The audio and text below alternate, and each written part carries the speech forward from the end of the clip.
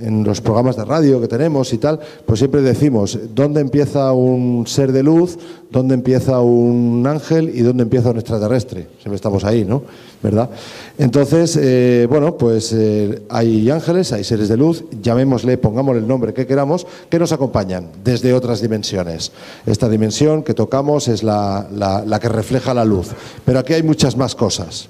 Y para hablar de este asunto eh, tenemos a una maestra Reiki, además amiga personal, y bueno, pues les dejo sin más con Rosalía Zavala.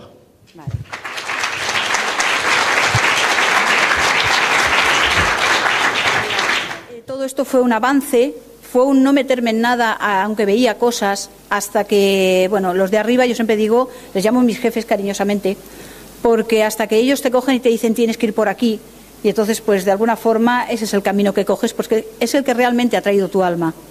Después de muchos años, pues que sí, que iba mirando cosas, aprendiendo cosas, pero a título personal, eh, llegó el momento en que, bueno, en que de alguna forma me vi metida en este mundo y cada vez iba recibiendo más información y llegó un momento en que, claro, todo esto necesitas darle un cuerpo o darle una forma.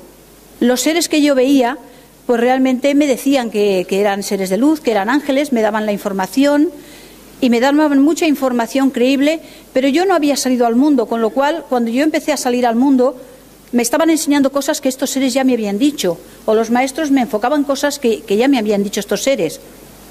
Entonces fue cuando realmente yo me di cuenta de que sí estaba contactando con estos seres. O sea, que contactar sí, pero que era cierto lo que me decían y que realmente el contacto era correcto.